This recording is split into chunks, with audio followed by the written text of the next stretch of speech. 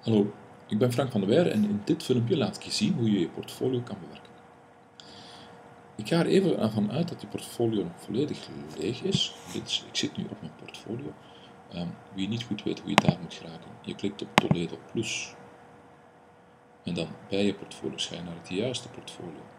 Bijvoorbeeld portfolio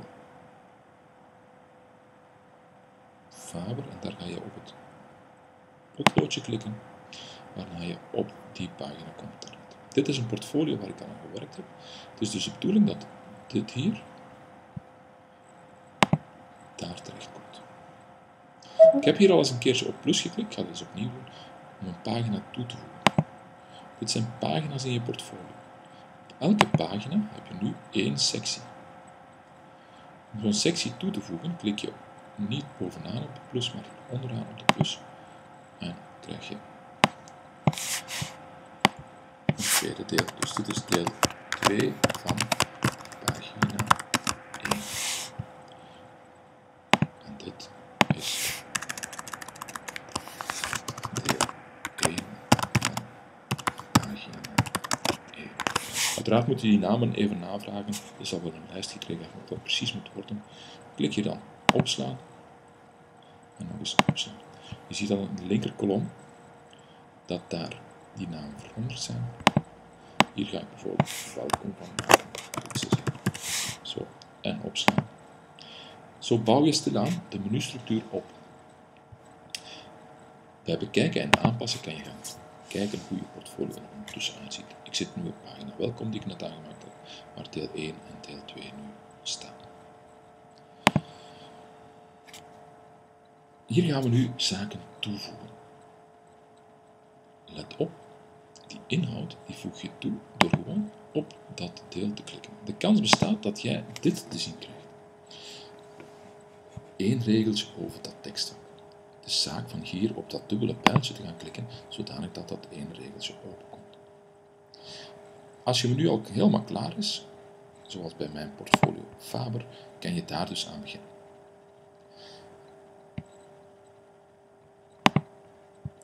Hier kan je dus gewoon tik hier de nodige tekst, tekst gaan tikken. Je kan hier ook hyperlinks gaan plaatsen. Bijvoorbeeld klik hier om mijn blog te zien. Dan ga ik die klik hier niet onbelangrijk even aanvinken. Als ik die niet aanvink, dan is er deze hier, het kettingje, niet klikbaar. Als ik die aanvink, is het kettingje wel klikbaar. Ik klik op het kettingje en geef de link www.naam van mijn blog.be in en ik klik hier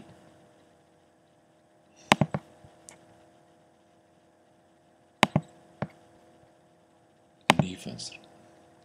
Nu heb ik hier nog een klein foutje gemaakt. En dat was wat hij net even aangaf die www-naam van mijn blog.be moet vooraf gegaan zijn door http Je mag die daar niet vergeten te tikken, want dan werkt het niet.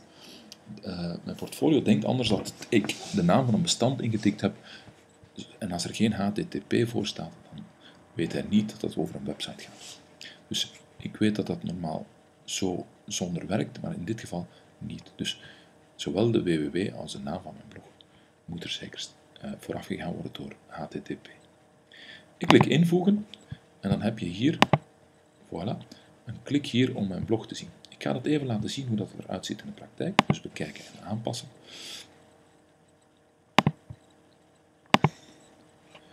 Eh, sorry, ik ben dat vergeten op te slaan natuurlijk. Dus eerst even opslaan. Voilà. Zo, bekijken en aanpassen. Klik hier om mijn blog te zien. Ik heb gezegd dat hij dat in een nieuw venster moest openen. Die website bestaat uiteraard niet, maar voor opgelost. Terug naar mijn portfolio. Ik heb hier al getoond, even terug dat tekstvak openen, dat je hier een gewone tekst kan intikken, dat je hier een hyperlink kan inleggen.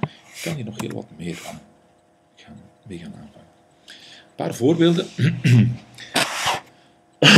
ik, wil, ik heb een uh, les gemaakt en die les uh, is een Word-document of een PowerPoint of welke soort bestand dan ook.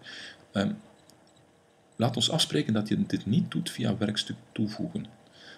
We gaan dit in de tekst, dat kan dus, hè, maar wij gaan ervoor kiezen van dat hier in de tekstvak te doen, door te klikken op bestand info. De reden waarom we dat in dat tekstvak doen, er zijn verschillende redenen, uh, maar de hoofdreden is dat dat het mooi ordelijk kan gesorteerd worden.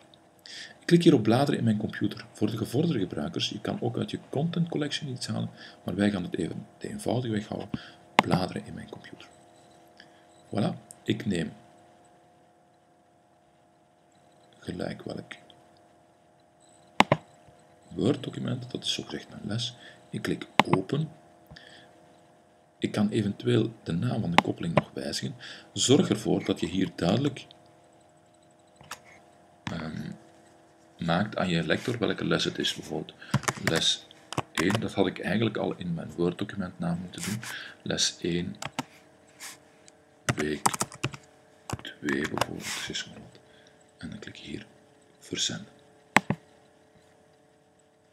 Dan komt die tekst, zoals je hier ziet, daarop te staan.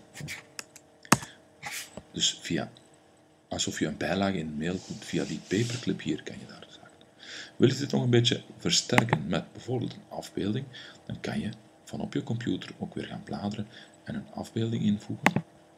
Je kan hier eventueel ook van op je computer een film gaan invoegen.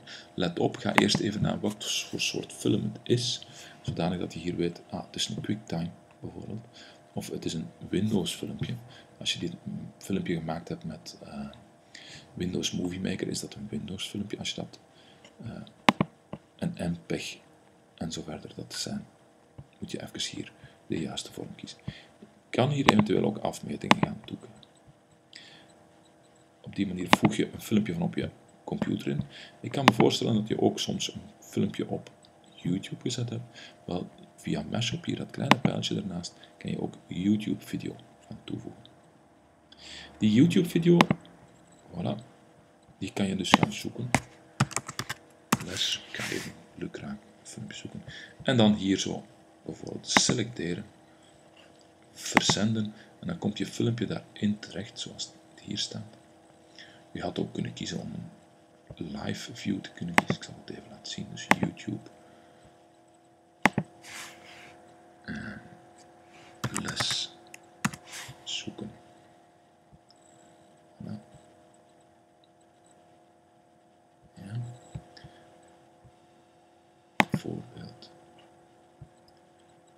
Als je zo'n live uh, view erin wil, dan kan je best die HTML gebruiken hier en bij YouTube de juiste HTML-code gaan.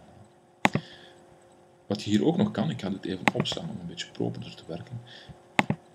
En de tweede, het tweede deel aan. Nog twee gevorderde functies en um, die zijn niet voor iedereen toepasbaar, maar goed, ik laat ze toch maar zien. Het kan. Als je op dit webcammetje hier klikt, dan gaat er een venstertje op waarmee je rechtstreeks, als je aangemeld bent op YouTube, kan gaan opnemen met je webcam. Ik ga dit nu niet doen, want het gaat conflicteren met het webcammetje waarmee ik de software aan opnemen. Maar je kan hier dus rechtstreeks gaan spreken, zoals ik dat nu naar jullie doe, in je portfolio. En een laatste feature die ik zeker nog eens wil laten zien is de HTML. Deze is even leeg. Wat kan je daarmee doen? Wel, websites die je kan embedden. Uh, de eerste die waar ik aan denk is bijvoorbeeld Prezi. Je hebt een Prezi gemaakt. Voilà. En ik wil deze Prezi bijvoorbeeld wil ik gaan laten zien op mijn portfolio. Er staat onder je Prezi een knop Embed. Dit kan met heel wat websites. Ik laat dit gewoon even zien via Prezi. Die embed code die hier staat, je kan de grootte eventueel nog aanpassen als dat niet mooi is. Dus die ga je kopiëren. En die ga je plakken. Even kijken waar mijn portfolio open stond. Hier zo. Dus in die HTML ga je die plakken. Bijwerken en opslaan. En dan gaat je portfolio niet alleen dit, maar ook je breedte laten zien. Zo. Dat waren de hoofdfuncties van zo'n portfolio. Uh, hoe je een portfolio moet aanpassen. Ga zeker aan het eind even kijken bij bekijken en aanpassen, voor je klikt op het klaarknop bewerken, of alles zoals je dat graag had, ook wel daadwerkelijk werkt. Veel plezier ermee.